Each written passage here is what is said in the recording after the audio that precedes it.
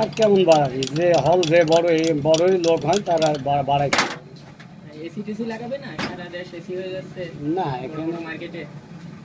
ব্যবসা পরিবর্তন হলে হয়তো করতো কিন্তু ব্যবসা ভালো না মালিকের মন ভালো না। গরুকে দুধ দিতে হবে। গরু যদি হাফ কেজি দুধ দেয় আপনি গরুকে খোল খাওয়াবেন না চাল খাওয়াবেন না ডাল আটা লবণ তেল খাওয়াবেন না। গরু যদি দুধ দেয় তাহলে কিন্তু আমি চাল খাওয়াবো, ছোলা খাওয়াবো। আমার এই সিনেমা হল তো এখন আর সে সিনেমা হল নাই। যতটুকু পারে আমরা চেষ্টা করে পরিষ্কার পরিচ্ছন্নতা রাখার জন্য আমরা চেষ্টা করি এবং এতে সরকারকে আগায় আসতে হবে। প্রযোজকরা যেরকম বললে প্রযোজককে সেভাবে ছবি বানাতে হবে।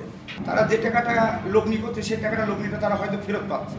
কিন্তু সিনেমা হলটা যে টাকাটা লগ্নি করে ছবিটা নিয়ে আসছে, সেটা আর উঠতে পারছে শিকারে এখন বছরে একটা আসলে তো হবে না।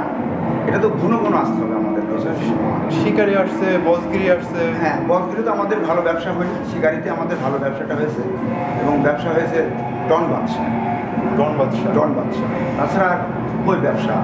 ব্যবসা নয়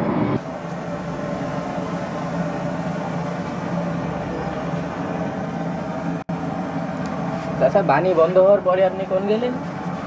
প্রথম থেকে বলেন আপনি মানে আপনার লাইফে প্রথম কোথায় থেকে শুরু করলেন?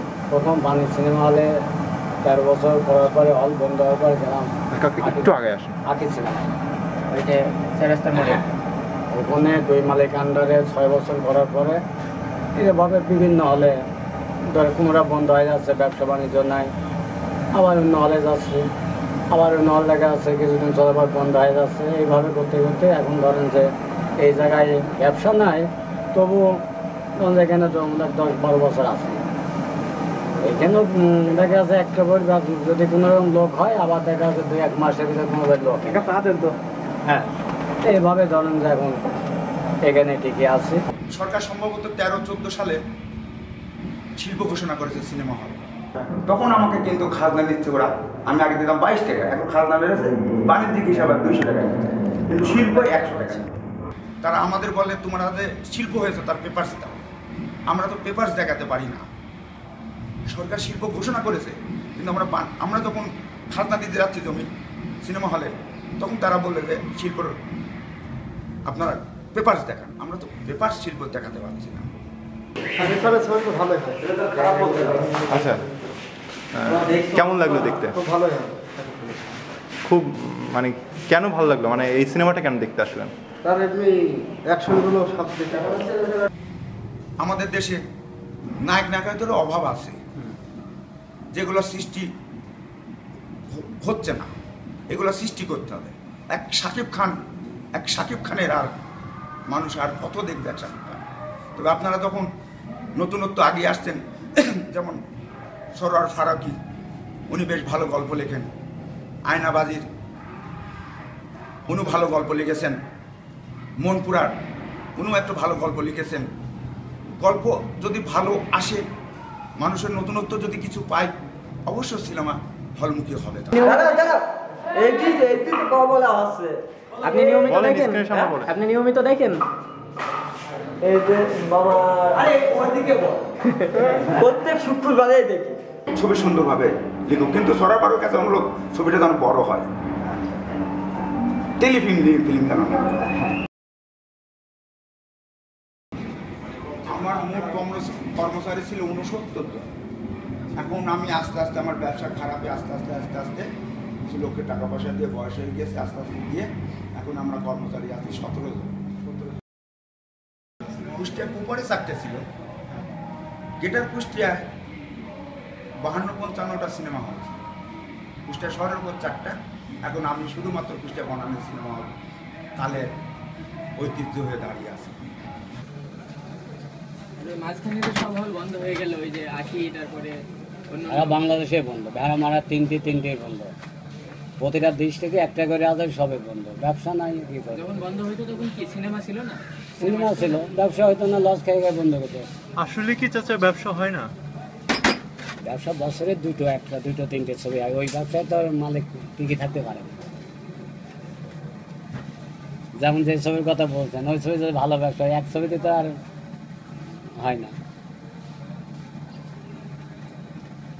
না হাউসফুল রিয়াল ছবি হাউসফুল বছরে দুই একটা হচ্ছে। দু একটা হচ্ছে। যেমন ভালো ছবি আসলে যেমন প্রেম কি বুঝিনি? ডাইরেক্ট ইন্ডিয়ান ছবি। বাংলাদেশের প্রত্যেকটা সিনেমা হল ধ্বংস হয়ে গিয়েছে।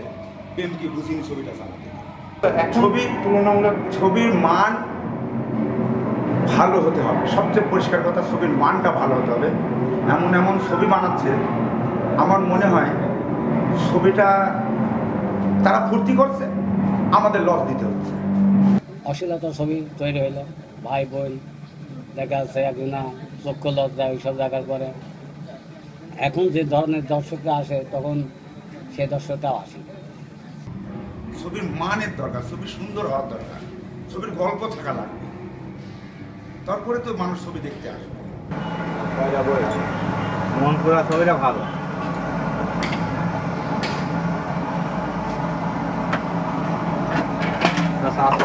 গেছে ছবিটা ভালো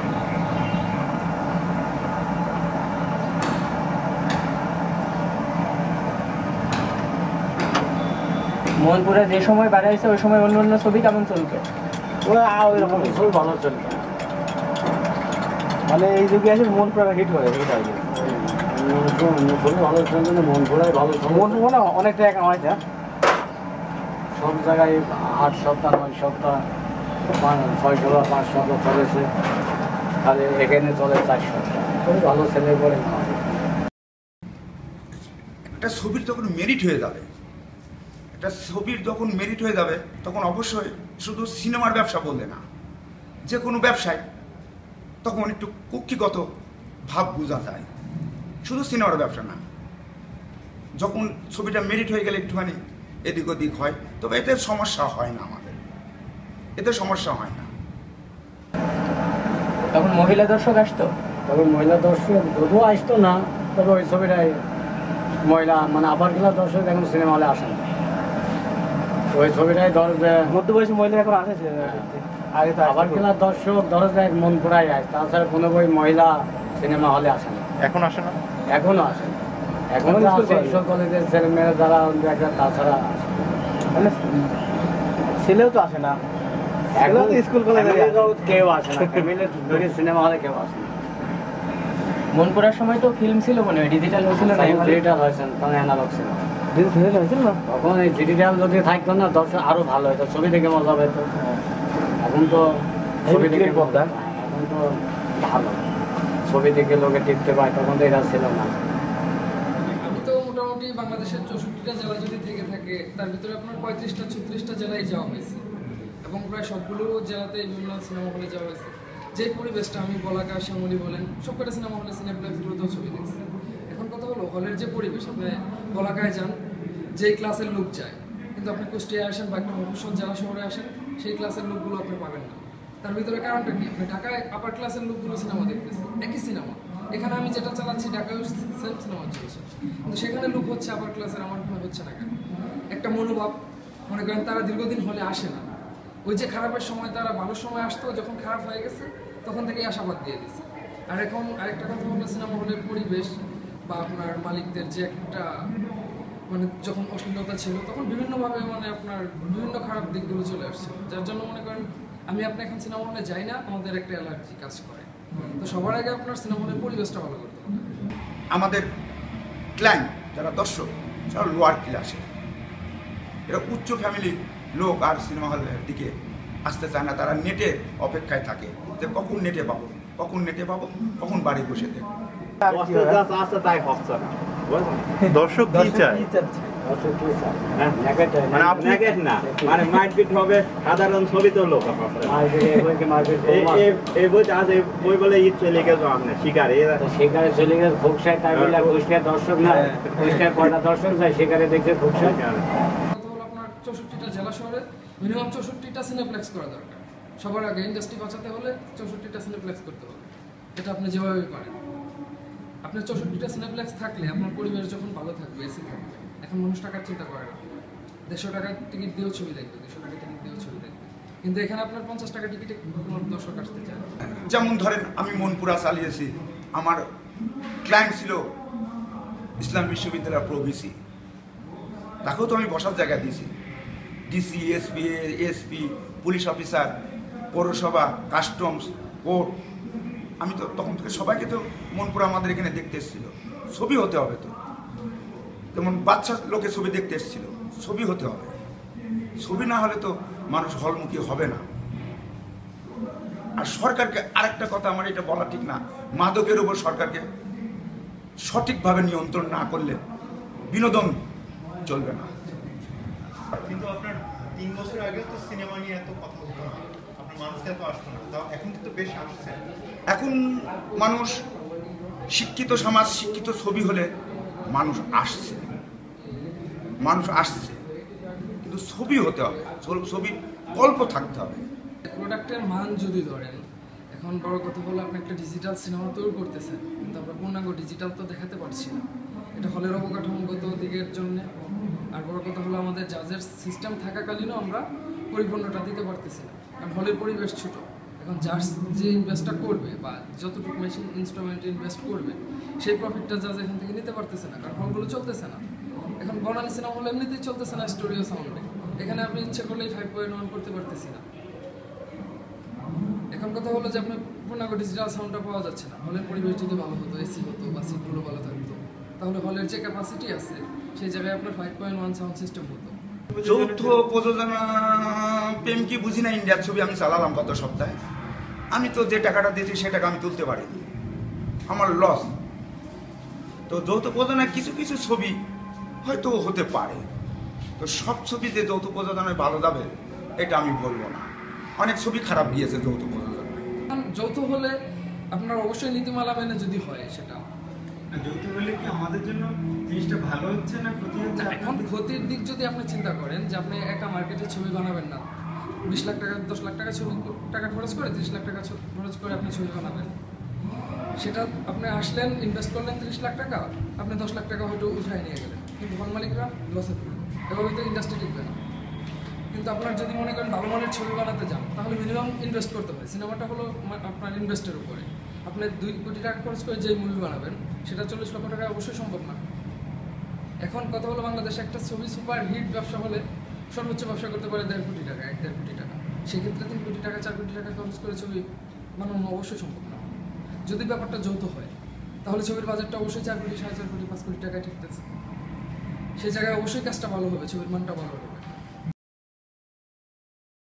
না, এইভাবে আমাদের সঙ্গে কোনো প্রযোজক বা কোনো শিল্প লাইনের বা সিনেমা লাইনের কোনো কর্মকর্তারা আমাদের সাথে এইভাবে বসেনি সরাসরি। আমার আমার যখন সিনেমা হল আছে আমাকে তো বাধ্য হয়ে আপনি সাপ ব্যাং যাই বানাবেন আমাকে তো চালাতে হবে। সবচেয়ে বড় কথা বাংলাদেশের যারা আমরা ডিজিটাল হয়েছি দুই হাজার বারো সালে যারা শুরু করছি আপনি কলকাতার দিকে যদি তাকান তারা আসছে আজ থেকে আরও দশ বছর আগে। তাদের সাথে আমাদের ডিস্টেন্স অবশ্যই আছে। তারা আমাদের থেকে এক্সপার্ট টেকনিশিয়ান বলেন বা আর্টিস্ট বলেন, যারা বলেন, সবাই। এখন কথা হলো যে, যৌথ প্রযোজনা যদি নীতিমালার ভিতরে যদি হয়, সেটা দেশের জন্য ভালো শেখার অনেক কিছু আছে। আর কথা হলো যে, আপনার মার্কেটে যদি কম্পিটিশন না থাকে বেটার জিনিসটা আপনি দর্শকও পাবেন না, আপনিও পাবেন না। মনে করেন বাংলাদেশে এক শাকিব খান আর নাই কেউ। এখন সাকিব খান যেভাবেই বানাক ছবি প্রডিউসার যেভাবেই ইনভেস্ট করুক ছবি, যেরকমই হোক, সে ছাড়া নেই। তাকে দিয়ে বানাতেই হবে। কোয়ালিটি পাবেন না আপনি। যখন মার্কেটে অপোজিশন থাকবে, যেমন শিকারি ধরেন সাকিবের ছবি যারা নাও দেখে তারাও শিকারি দেখছে। কারণ কি? এখানে সাকিবের কিছু চেঞ্জ আসছে। কারণ ছবিটা যেহেতু ইন্ডিয়ায় রিলিজ হচ্ছে, সাকিব একটা জিনিস আছে, তার ভিতরে চেঞ্জ না আসলে সেই জিনিসটা করতে পারতো না। আমি আমার দেশ বাংলাদেশ, আমার মাটি বাংলাদেশ, আমি চাই আমাদের শিল্প, আমাদের শিল্পীরা আমাদের দেশে সুন্দরভাবে কাজ করুক, সুন্দরভাবে তারা চলুক, ফিরুক, বাইরে আসুক, আসবে অবশ্য। বছরে দুইটা বা তিনটা বা চারটা। কিন্তু আমাদের শিল্পটা যাতে ধ্বংস না হয়, সেদিকে কিন্তু খেয়াল রাখতে হবে যৌথ প্রযোজনারা যারা কাজ করছে। আমাদের বাংলাদেশের এফডিসিটার দিকে তাকিয়ে দেখেন, নষ্ট, কিচ্ছু না এফডিসিতে। এখন গল্পের দিক চিন্তা করলে আপনার কমার্শিয়াল চিন্তা করতে হবে। আর শিল্প চর্চার দিকে যদি চিন্তা করেন, অনুদানের একটা ছবি, সেটা কমার্শিয়াল ব্যবসা না হলেও চলে। কিন্তু জাজ আপনার ব্যবসা করতেছে, এরকম প্রোডাকশন আরও আসতে হবে। বাংলাদেশে একমাত্র জাজ একার পক্ষে কিছু করা সম্ভব না। এখন দেখেন ডিজিটালে যদি জাজ না আসতো এতদিনের যে থার্টি ফাইভের অবস্থা ছিল সিনেমা হল যে দেড়শো এসে ঠেকে ছিল সেটাও থাকতো আপনি যে জায়গায় দাঁড়ায় আছেন এই জায়গায় দাঁড়ায় কথা বলতে পারতেন না কিন্তু কথা হলো একার পক্ষে কার কি করা সম্ভব? যাদের মতো আদার্স মনে করেন দশটা প্রোডাকশন যদি হয় দশটা না হোক দুইটা প্রোডাকশন থাকতো। বাংলাদেশে আরও মিনিমাম মানে দুশো ফল জিনিস সরকার যে অনুদানগুলো দেয় ছবি বানানোর জন্য এটা আমার বলতেই হবে। সরকার যে অনুদানগুলো দেয় সেই ছবিগুলোর মান এত খারাপ হয় কেন? এত কেন খারাপ হয়? কিছুদিন আগে অস্তিত্ব চালালাম একটা প্রতিবন্ধীর ওপর ছবিটা। এত সুন্দর ছবি, কিন্তু ছবিটা মানুষ। অনুদানের ছবি, অনুদানের জন্যই ছবিটা বাংলাদেশে ঠিকমতো চলেনি। অনুদান বাদে ছবিটা হলে খুব ভালো চলতো। কারণ অনুদান, অনুদানের ছবি কোনোদিন ভালো হয়নি বাংলাদেশে। এটা যারা অনুদান দেয় যারা ছবি বানায় তারাই বলতে পারবে। আপনি বলতে অস্তিত্ব যদি অনুদান না পেত তাহলে চলতো। ফাইন ছবিটা হতো। ওটা একটা অটিজমের ওপর ছবি। সম্ভবত আমাদের সরকারের শেখ হাসিনার সরকার শেখ হাসিনার মেন টিউলিপ নাকি পুতুল পুতুল পুতুল অটিজমের ওপর কাজ করে। পুতুলই কিন্তু এই অস্থিরতার ওপর অনেকটা মানে আগ্রহ ছিল আর কি।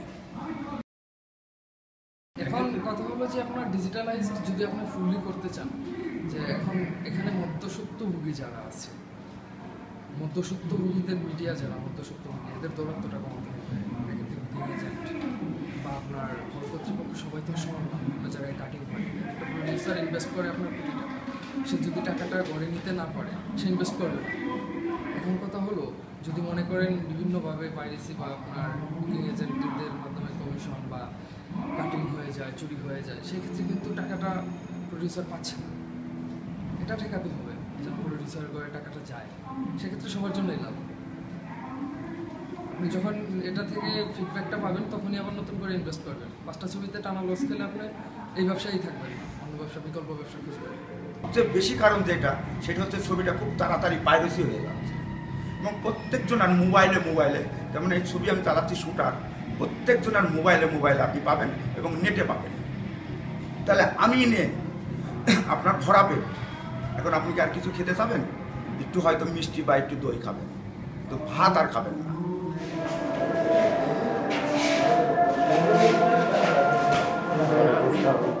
হ্যাঁ অবশ্যই সাধারণ মানুষের দায়িত্ব আছে।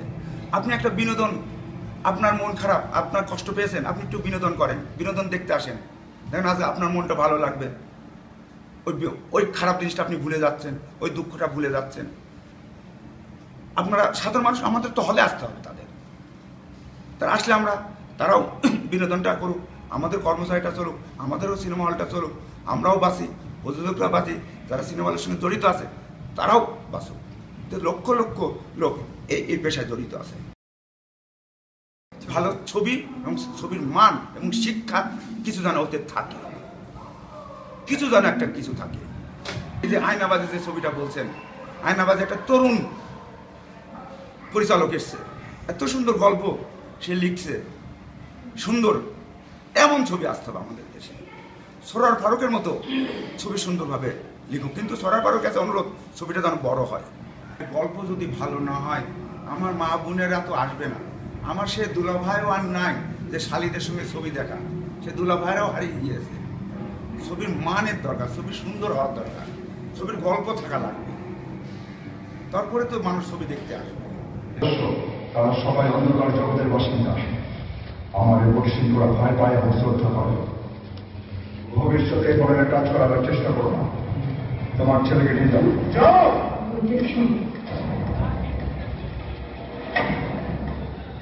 এই অপমানের পর আমি আর এই বাড়িতে এক গুরুত্ব থাকব না। তুমি যদি থাকতে যাও থাকো এই পিটি এই পিটি আর থাকবেন না।